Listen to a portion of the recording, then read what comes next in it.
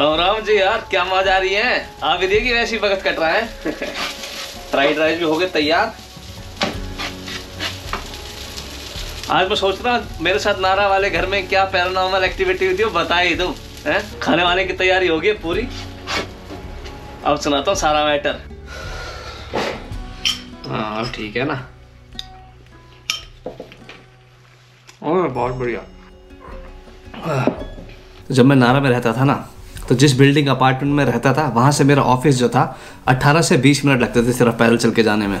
फिर जब मैं वापस आता था तो मेरे आसपास की जो लोकेलिटी थी, वहाँ पर कुछ था ही नहीं। घर के बाहर था सिर्फ़ एक कन्वीनियंस स्टोर मेरे ऑफ़िस के पास एक मॉल था, वो नौ एक बजे बंद हो जाता था। जैसे यहाँ पर मेरे घर के आसपास नदी किनारे बैठ जाओ, या फिर पार्क वार्क है, शाम को रिलैक्स आदमी अपना जाए। जैसे फ़ोन पे बात कर ली, घर पे बात कर लिया, दोस्तों से बात कर ली, अपना अकेले बैठ के सोच लिया कि भैया कि अपने जीवन के बारे में रिलैक्स टाइम जो अपना होता है बाहर निकल के कुछ करने का था नहीं। मेरे घर से थोड़ी दूर एक पार्क तो था, पर वो भी शाम को आठ बजे बंद हो जाता था, जिसमें मैं सुबह भगने जाता था। तो मेरे ऑफ़िस से जो मेरे घर के बीच का जो डिस्टेंस था, उसमें दो ग्रेवयार्ड थे। तो मैं अक्सर शाम को या दोपहर को वहीं वीडियो बनाने जाता था, वो बढ़िया सी जगह थी और वहाँ पर कोई आता जाता नहीं था। तो वहाँ पर रिलैक्स अकेले बैठ के अपना चिल मारा जा सकता था। कोई कहने, सुनने रोकने टोकने वाला वहाँ नहीं था। अकेले घर के अंदर भी घुटन सी लग जाती है। तो मैं क्या करता था, जैसे खाना वाना खा के, अपना ऑफ़िस की जो पढ़ाई वढ़ाई होती थी, वो कर कर आके बाहर निकल जाता था। थोड़ी वॉक कर ली या कहीं उस ग्रेवयार्ड में जाके बैठ के चिल अपना जो भी ड्रिंक व्रिंक होती है जूस कॉफ़ी या जिसको जो भी पसंद है, अपना लेके बैठ जाओ, गाने वाने सुन लो या फिर अपना रिलैक्स शांति सी में बैठे रहो और सोचते रहो जो भी तुम्हें सोचना हो। तो मैं वहाँ पर अक्सर जाया करता था। और रात को ग्रेवयार्ड में पता क्या होता है? ग्रेवयार्ड में रात को होता पिन ड्रॉप साइलेंस वहाँ पर हवा की आवाज़ आती है साए साए धीरे धीरे किसी इंसान की, किसी कुत्ते बिल्ली की कोई आवाज़ नहीं आती वहाँ पर। तो एक दिन वहाँ जब मैं बैठा हुआ था आराम से तो मुझे धीरे से आवाज़ आई किसी के रोने की। अब वो, ये ना पिक्चरों में तो होता है कि जैसे अगर कहीं रोने की आवाज़ आ रही है, कहीं से किसी की आवाज़ आ रही है, ऐसे ग्रेवयार्ड में तो चुल होती है जाके उठ के देखने की वहाँ पर क्या हो रहा है। मेरे अंदर एक परसेंट भी वैसी कोई चुल नहीं थी। मैंने कहा, कोई बिल्ली होएगी, मरन दो कुछ भी है, मुझे कोई मतलब नहीं है। दो मिनट की बात है, मैं अपना उठ के घर चला जाऊँगा और सो जाऊँगा मस्त। उसके बाद अगले दिन भी मैं उस ग्रेवयार्ड में गया। अपना बैठा रिलैक्स चिल मार रहा था। उस दिन भी किसी के रोने की आवाज़ आई। यानी कि यार, ये तो रोज़ की रोज़ ही सीन हो रहे चक्कर क्या है? मैं खड़ा हुआ। मैंने देखा तो वहाँ पर सच में ना एक आंटी रो ही रही थी। तो मैंने कहा अच्छा ये तो सच में इंसान जीता जागता दिख रहा है, कोई ऐसी बात तो है नहीं। और मुझे क्यों उंगली करनी किसी चीज़ में?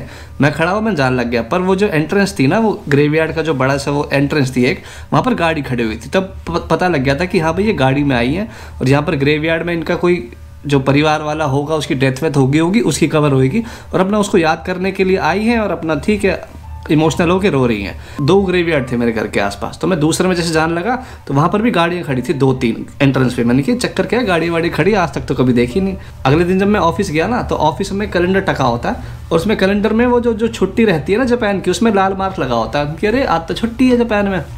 फिर मैंने पूछा अपने सीनियर से उनकी अरे, छुट्टी बता रहे तो पहले हमारा क्या सीन है? हमारी कोई छुट्टी उट्टी नहीं है क्या? कह रहा, नहीं, ये ओबोन यासो में होती है। उसने कहा, वैसे एक समर फेस्टिवल होता है, तीन चार दिन की छुट्टी उट्टी होती है। हमारी इस बार नहीं, काम ज़्यादा है, हमें सिर्फ़ दो दिन की छुट्टी मिलेगी। मैंने कहा अच्छा चलो ठीक है। फिर मैंने सर्च करा कि भैया ओबोन फेस्टिवल होता क्या है?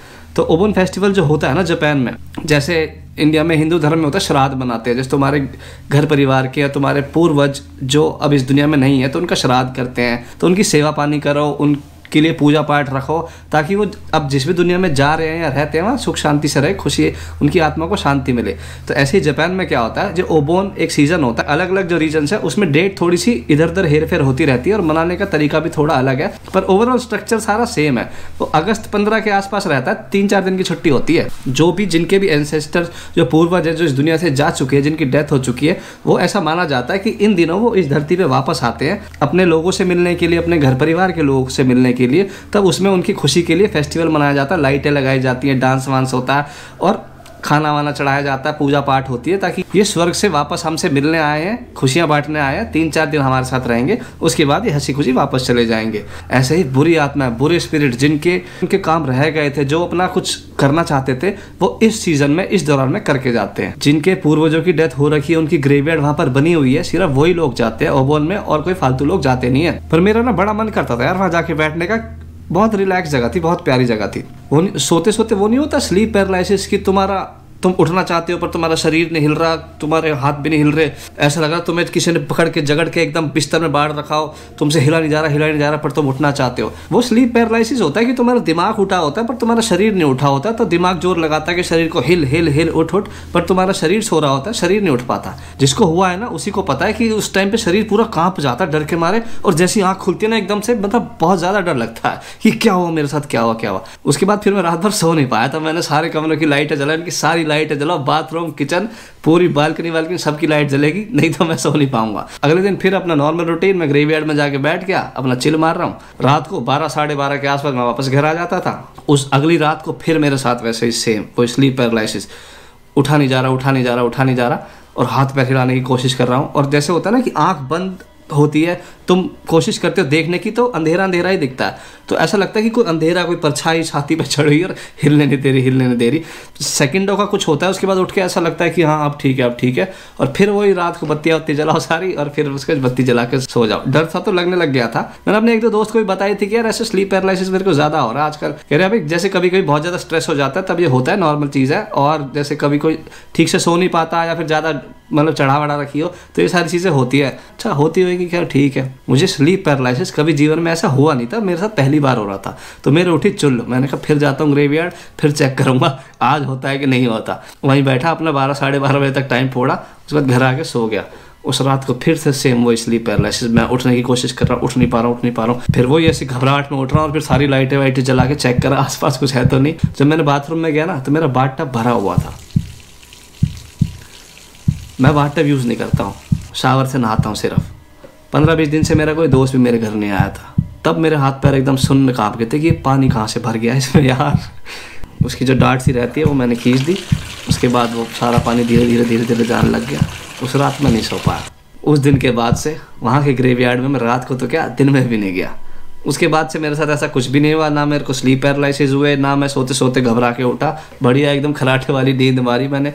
मुझे कोई भी ऐसी चुल्ल वहाँ जाने की, मुझे कोई भी चीज़, कुछ ऐसी फील नहीं उसके बाद से मुझे था कि यार ये सीन इसका पता तो करना पड़ेगा कि क्या चक्कर है, क्योंकि आज से पहले मेरे साथ ऐसा कभी हुआ नहीं था। जैसे जापान में क्या होता है, लोग अकेले बहुत ज़्यादा रहते हैं। काम काम काम में ज़्यादा बिज़ी रहते हैं। शादी नहीं करते, किन्हीं की शादी होती नहीं है, किसी की शादी हो जाती है, बच्चे उनके साथ नहीं रहते, अकेले बूढ़े माँ बाप हैं या फिर कोई किसी की डेथ हो गई, एक पार्टनर की, एक बूढ़ी बुज़ुर्ग औरत अकेला अपना जीवन बिता रही है या फिर एक बूढ़े बुज़ुर्ग अंकल अकेले अपना जीवन बिता रहे हैं या कोई इतना स्ट्रेस में उसने सुसाइड कर लिया तो जिस घर में कोई किसी अननेचुरल डेथ जैसे होता है ना, बीमार हो के धीरे धीरे कोई मरा है, ऐसे नहीं, एकदम से सडनली कोई अननेचुरल डेथ हो जाती है, कोई सुसाइड हो जाता है मर्डर हो जाता है किसी की डेथ हुई उस घर में पड़े पड़े और पता चली दो महीने बाद दो साल बाद डेड बॉडी अंदर ही घर के अंदर सड़ के खत्म हो गई। तब स्मेल से पड़ोसियों के पता चला। ऐसे बहुत होता है जापान में। उन वाले घरों को साफ़ सफ़ाई कर करा के बाद में सस्ते में किराए पे चढ़ा दिया जाता है। ये भी एक बहुत अलग बिज़नेस है। ऐसे जो प्रॉपर्टी डीलर होते हैं, वो इन्हीं घरों को डील करते हैं और सस्ते में घर दिलाते हैं। जिसको ऐसे सस्ते में घर चाहिए ना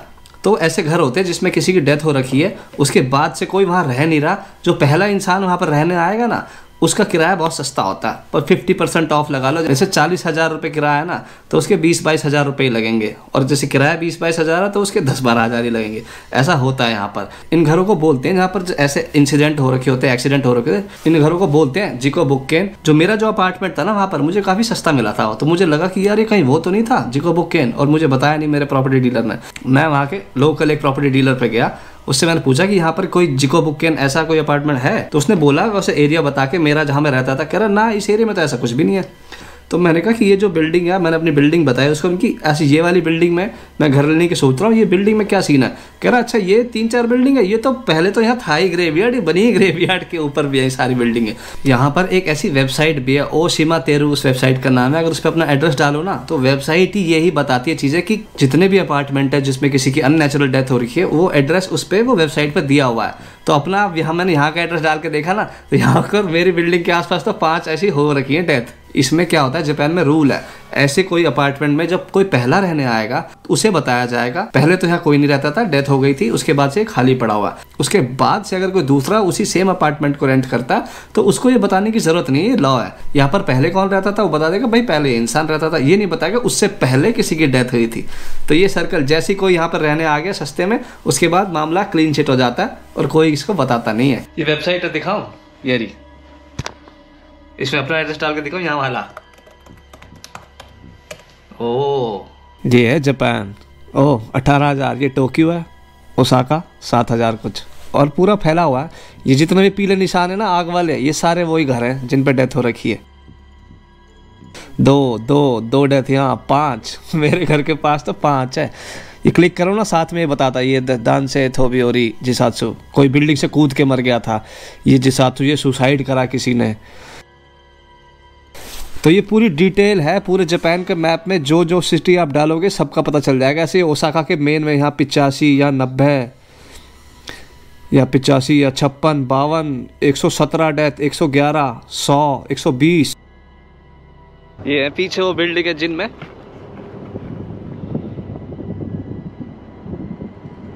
वो उस वेबसाइट पे पाँच घर तो ऐसे दिखा दिए कि जिनकी मौत के बाद अब तक कोई रहा ही नहीं है वहाँ पर। और बाकी में तो पब्लिक अपना आराम से बढ़िया रह वह रही है तो वो उस साइट से और हर जगह से हटा दिए जाते हैं। मेरी तो यही थी स्टोरी यार। अब जो भी था, जैसे भी था, मुझे इस बारे में कुछ नहीं पता और ना मुझे इसकी तहकीकात करने में कोई इंटरेस्ट है। एनीवेज सपोज़ कोई भूत प्रेत मेरे घर में आया भी होगा तो वो बाथ टब में नहाने आया यार होता या तो मुझे नहवाता मुँह डाल डाल के, या फिर खुद नहा के चला गया। इसे नहवाओ साड़े को, इसके घर में तो मैं नहीं रख सकता। जिन्होंने भी चैनल को सब्सक्राइब कर रखा है ना, भगवान कसम कर लीजिए तो थैंक यू है। और जिन्होंने नहीं कर रखा है, आराम से कर लीजिए बाद में, कोई आफत ना आ रही है। अच्छा जी, फिर मिलेंगे। राम राम।